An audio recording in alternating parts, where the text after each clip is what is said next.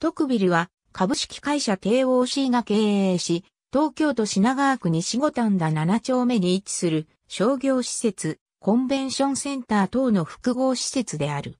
五反田特とも呼ばれる。なお、特とは東京卸売センターの略称である。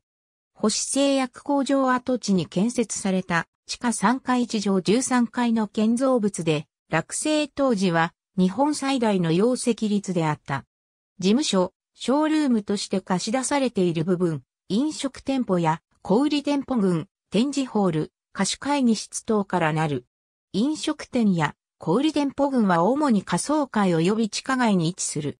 また、13階の展示ホールは、バーゲン会場や展示会場、私立大学の入学試験における校外受験会場や新司法試験の受験会場などとして用いられる。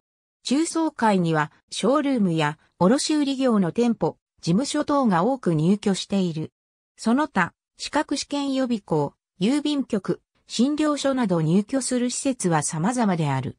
屋上にはゴルフ練習場のほか神社がある。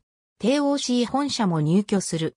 第2特ビルから第5特ビル及びフロントビルも周囲に存在する。敷地内には、星薬科大学発祥の地を記念する石碑がある。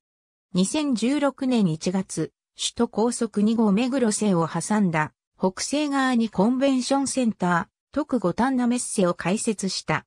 飲食店約25店舗、小売店約60店舗。営業時間、休業日は店舗等によって異なる。シャトルバス、特エキスプレス株式会社帝王 C は、特ビルの建て替えに関して、経済情勢、経営環境等を勘案の上、慎重に検討するとしている。ありがとうございます。